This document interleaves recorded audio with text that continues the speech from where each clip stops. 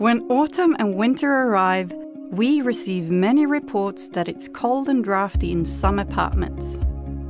However, there are several things that you can do to improve your indoor temperature of your accommodation. We both need and want to make sure that you feel good in your home. Before you contact your caretaker or report a fault, feel free to look here at some solutions that tend to help most people who experience a cold apartment.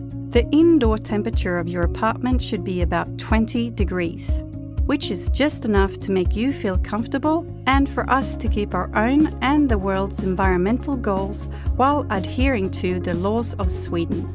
Think of how you furnish your room. The thermostatic valve ensures that the right amount of water is released forward in relation to the temperature within the room. For this to work well, there needs to be good air circulation around the thermostatic valve.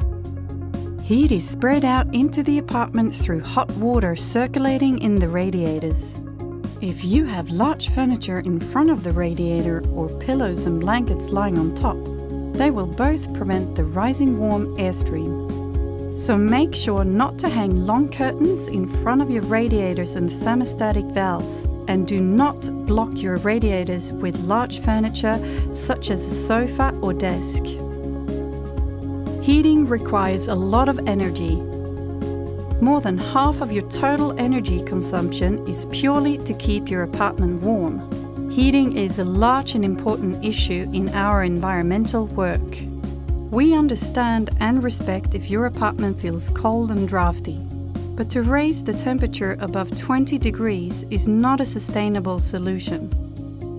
If the indoor temperature rises by 1 degree, it increases overall energy consumption by 5%.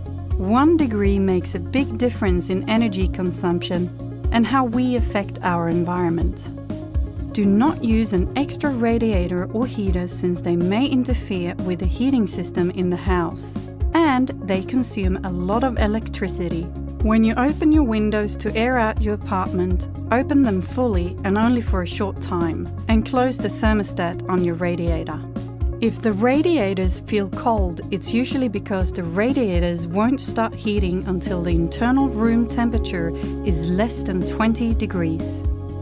Ventilation vents can look a little different depending on the type of your apartment. Fresh air usually comes through the vents on the outer wall, window, or behind your radiator.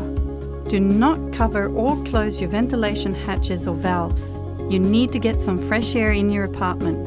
If you feel a draft from the ventilation in your apartment, you will feel much better and warmer if you avoid sitting close to the vent. So remember to furnish your apartment right.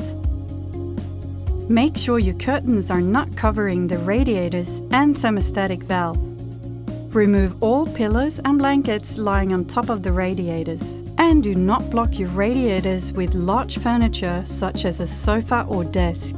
When you tried our tips and still feel that your home is cold, you are of course welcome to contact your caretaker.